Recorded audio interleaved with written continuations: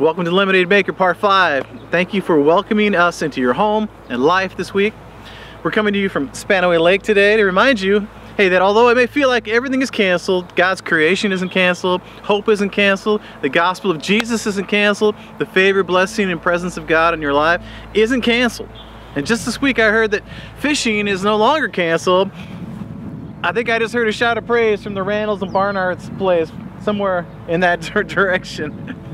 Apparently, the government's no longer concerned if fish get infected or something. I know, whoa, I know we're getting a little salty right from this, right out of the gates here. It's all good. Today we're gonna come around a question that is on everyone's mind, and that is, when are the Johnsons gonna have us over for a barbecue? Am I right? Am I right? So put your food request in the chat right now. Maybe a close second would be the question of when is this all going to end, right?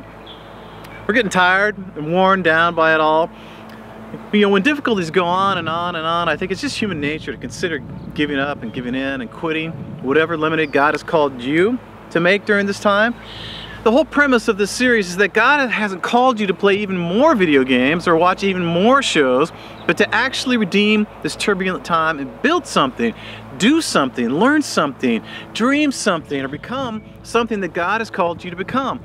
In other words, take what the enemy meant for evil, a pandemic, full of suffering, chaos, hardships, and losses and turn it into something good.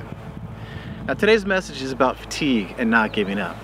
Nehemiah and his crew have been making lemonade out of a bad situation. About the same amount of time that we've been in quarantine. They have been rebuilding the wall of Jerusalem so they can have protection from their enemies. Now there's a reason the project hasn't made any you know, much progress for over 100 years. The obstacles were huge. The enemy was committed to stopping them, and they've been at it for over a month. Progress is being made, and the enemy's attempts to stop them have been thwarted. But the enemy's stubborn. The obstacles are stubborn. The odds stacked against you maybe right now are stubborn. So here's the thing. If the enemy can't take you out, then he knows the next best thing is to wear you down. Come on. You know what I'm talking about. There should be some amens in the chat if you showed up for church today, right now. So this is what happens. The enemy, like a battering ram, keeps at it. Bam, discouragement. Bam, setback. Bam, fight with someone. Bam, fear. Bam, no stimulus check. So things keep happening and coming against the lemonade that Nehemiah is trying to make, but he calls them out. Look at Nehemiah 6 9. It says they were trying to intimidate us into quitting. They thought they'll give up. They'll never finish it. The same thing can be said for you and I. Whatever they or it is, talking trash, trying, trying to intimidate you, trying to get you to quit making progress. But you're a man or a woman of God, and you know our battle's not against flesh and blood, but against spiritual forces of evil and heavenly realms. So we pick up our shield of faith and we extinguish those flaming arrows from the evil one. And then we pick up the sword of the Spirit, which is the Word of God, and we fight back with another famous 6 9 in the Bible. Galatians 6 9. Let us not become weary in doing good, for at the proper time we will reap a harvest if we do not give up. And notice that it doesn't say may reap or might reap, but will reap a harvest. But we have to hang in there, guys, and outlast the enemy. Which brings us to our theme for today. Some battles are won by defeating the opposition, but some battles are won by outlasting them. You know, David in the Bible is a case study of this. He was anointed the next king as a teenager, which was awkward since there already was a king, and then had an early victory against Goliath the giant that instantly made him a national hero. He still wasn't king yet, but he went and humbly served the current king, King Saul. Saul, unfortunately, had a major insecurity issue and, and tried to kill David over and over to the point where David is living on the run. All he did was the right thing for King Saul, and all he got back was opposition. This didn't go on for a day or a month or even a year. This went on, guys, for 13 years. And during that time, he had several opportunities to take Saul out. David wasn't about to touch God's anointed. He trusted God with the timing of it all until Saul ultimately died in battle. See, David won this battle, not by defeating the opposition, but by outlasting him. This is so important for you and I to get nailed down. Sometimes we pray and fast and have faith for certain things, and God allows us to experience a relatively quick victory. Those are Goliath moments. They're amazing moments, and God is so good to give them to us. But they're often the exception, not the rule. Because at other times, we do the same thing. Come on. You know it's true. We pray and we fast and we believe for it, and it just doesn't seem like anything is happening. We get worn down and we're tempted to give up because we think the battle must have been lost or there is no harvest to be reaped. But the battle hasn't been lost. It's not a Goliath battle that we're in, but a Saul kind of battle. And we will reap a harvest if we do not give up. We have to outlast the opposition. We have to outlast the discouragement, outlast the financial crisis, outlast that relationship blow up, outlast the fatigue of these weird times. So for the next few moments, Nehemiah is going to show us how to outlast the opposition. So let's read chapter 6, 1 through 4 together. It says, When word came to Sanballat, Tobiah, Geshem the Arab, and the rest of our enemies that I, I, had rebuilt the wall, and not a gap was left in it, though up to that time I had not set the doors in the gates. Sanballat and Geshem sent me this message Come, let us meet together in one of the villages on the plain of Ono. But they were scheming to harm me. So I sent messengers to them with this reply I am carrying on a great project and cannot go down. Why should I why should the work stop while I leave it and go down to you? Four times they sent me the same message, and each time I gave them the same reply. See, Nehemiah is getting closer, right, to completing his goal. But the enemy isn't finished. Four times his cell phone goes off in a worship service. See, the devil is into distraction. He will do whatever he can to divert your attention away from the lemonade you've been called to make. It may be too much social it may be unnecessary Zoom meetings. It may be a lack of boundaries on your part or less important priorities. On Easter, I shared about renting a cabin cruiser and sailing around the Puget Sound. It didn't have a lifeboat, but a life raft. We just assumed it was good to go until we tried to use it one time to explore an island. What was supposed to be our salvation in a time of crisis, we discovered was full of holes. See, one benefit of the time that we are in is that so many things have been stopped and been canceled that it gives us an opportunity to consider the life rafts that have been our salvation in the past and see if they are full of holes. Maybe all the stuff we used to be busy with was just propping up our ego or gave us an excuse not to be present in hard relationships or deal with the hurts or habits inside of us. They may have seemed like a, a life raft, but were actually a distraction because the enemy, like it said in Nehemiah 6 was scheming to harm you, harm me. But you can outlast the opposition when you commit yourself to a great work. That was Nehemiah's response to this distraction. He sees it for what it is and he says, oh no, to oh no, four times, right? Now you can put oh no to dad jokes in, in, in, a, in the chat for all I care. It was just too good to pass up. So Nehemiah wasn't giving himself to superficial and superfluous things. He was investing his life into things that mattered. I'm wondering, what about you? Maybe the reason you feel like a ship tossed by the waves is you don't have a great work, a great project, something worthy of the precious time, talent, and treasure that God has entrusted to you. Maybe it's time to commit yourself to a great work. See, God hasn't left you here just to binge on electronics, but to invest into people and projects that matter. In the early days of mission work in India, a young, highly capable man arrived there to advance the gospel. His talent was obvious and his impact was immediate. Not only did he catch the attention of the people he was ministering to, but he also caught the attention of a multinational company. They offered him a prestigious position with the company, making lots of money. But the young missionary turned them down. But not to be dissuaded, they made several more offers, increasing the pay and benefits each time. Finally, the young man sent them a letter, thanking them for the offer, but he wasn't, uh, but he wasn't declining it because the pay was too low. He was declining it because the job was too small. See, what, what has God called you to advance during this time? But this isn't an exhibition fight you're in. This, this fight is scheduled to go as many rounds as it takes. Same with Nehemiah. So the opponent comes out of his corner with another strategy, an open letter accusing Nehemiah of planning a revolt against the king of Babylon and to appoint himself the new king of Jerusalem. Nehemiah's response is classic. I love it. I, I don't know if your high school did this, but we would get into spirit battles at football games right? You, you, remember the drill? We've got spirit, yes we do, we've got spirit, how about you? And then the other fans would chant it back, right? And eventually we would shorten it to, we've got more. And the other team would chant that back. Finally, our cheerleaders came up with a genius response. They just took their hand and they went, huh! And that was the end of it. That was the end of it. And so Nehemiah gives them a huh response in verse 8 and says, You're just making it all up. But what he does next at the end of verse 9 is another way we can outlast the opposition. It says, But I prayed, now strengthen my hands.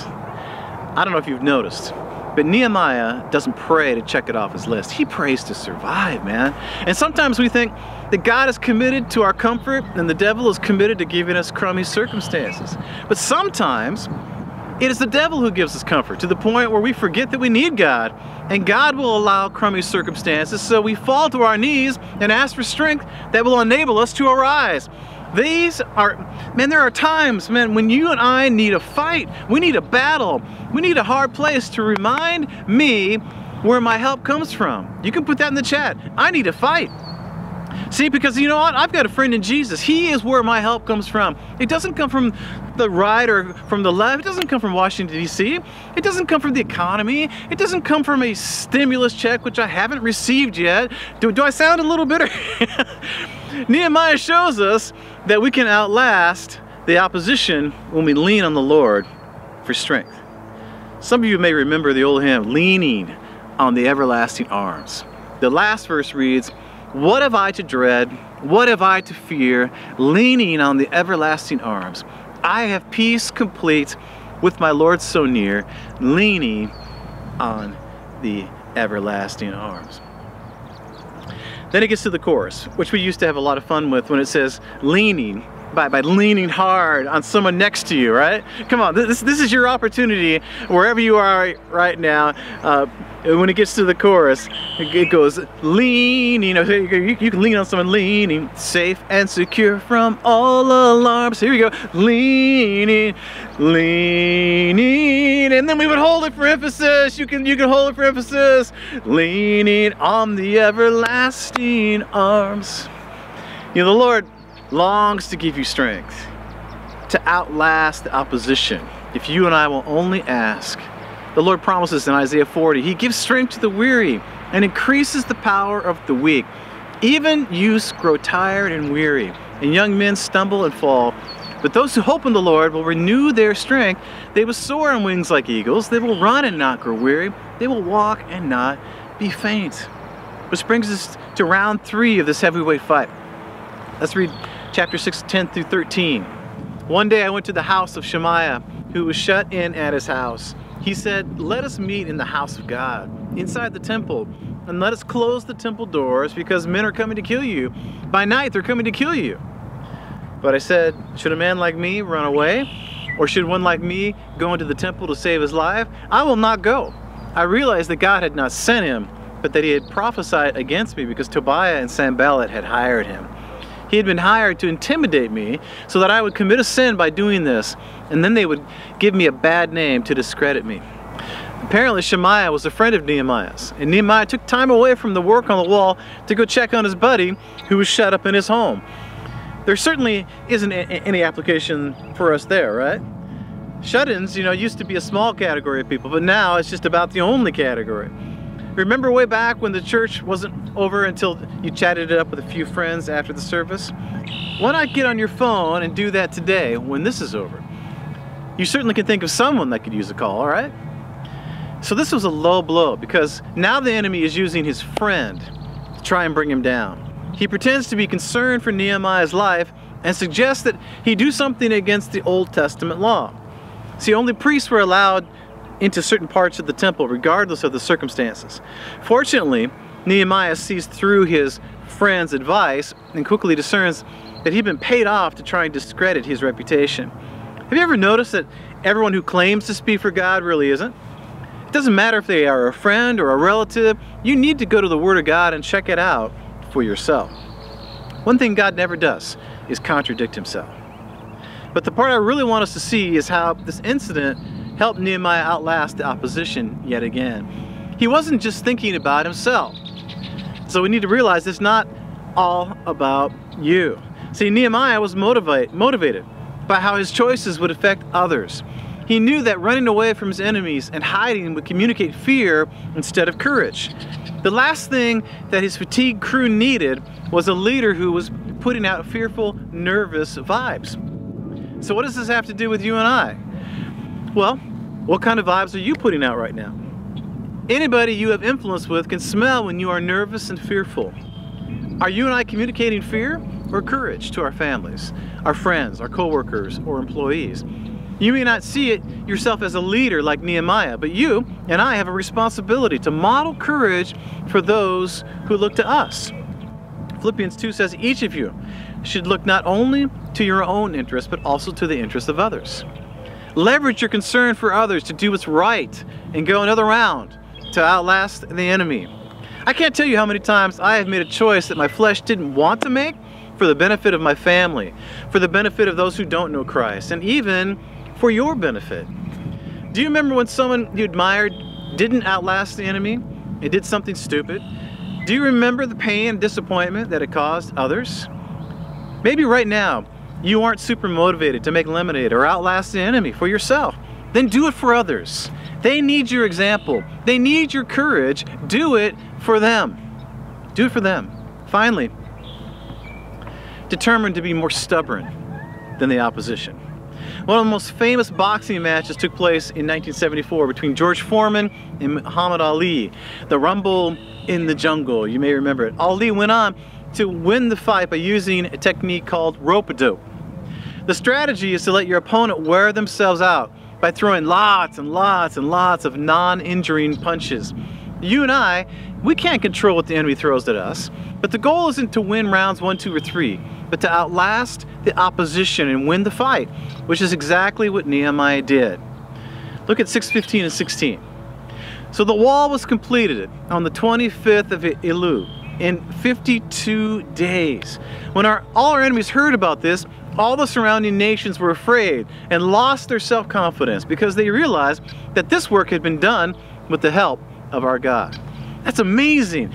This was an incredible accomplishment to pull off in such a short time. They rebuilt a city wall and all of its gates in only 52 days.